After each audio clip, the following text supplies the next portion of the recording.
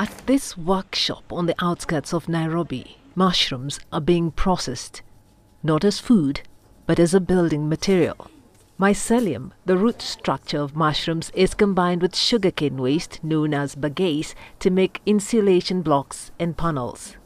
This uh, after uh, now introducing the mushroom spawn into the uh, sugarcane bagasse, this is more or less fully colonized. So the mushroom fibers have gone through the uh, waste and bonded it together into the panel. So in the next day, we'll now be air drying this uh, uh, ready for now installation. These panels, according to Kililo, can be used in walls, roofs, and interiors as an affordable alternative. Mycotile collects waste from sugar factories struggling to dispose of it. Kililo believes this approach could also make construction cleaner. The building industry contributes to close to 40% of uh, carbon emissions uh, through the building life, the extraction process, uh, and also the embodied carbon that the buildings have.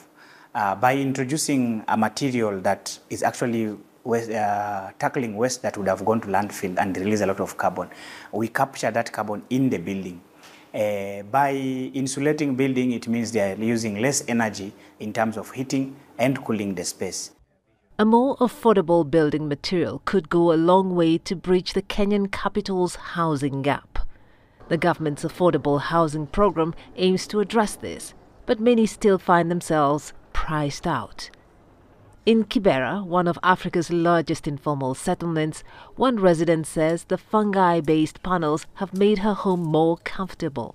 The affordable housing project currently under construction is still too expensive for me, and I simply cannot afford it. However, this place is good enough and livable. It's neither cold at night nor hot during the day. Experts have hailed innovations like Mycotiles, saying they could make homes healthier.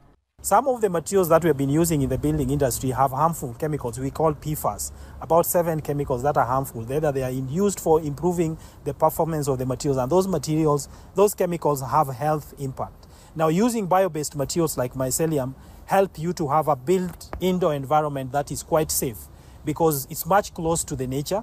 You don't have this exposure to harmful chemicals. As the Nairobi skyline expands, Mycotile and others hope their fungi-based materials can offer a greener foundation for Africa's growing cities. Joy Kiruki Juma, CGTN.